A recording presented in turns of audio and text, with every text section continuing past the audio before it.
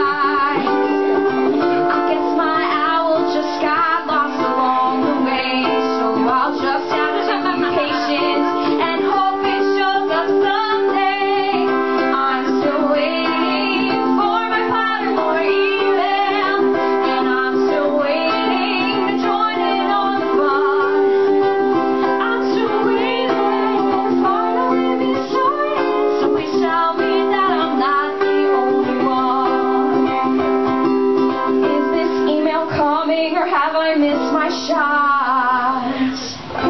Am I magical or not? You promised I'd get in, but maybe you forgot.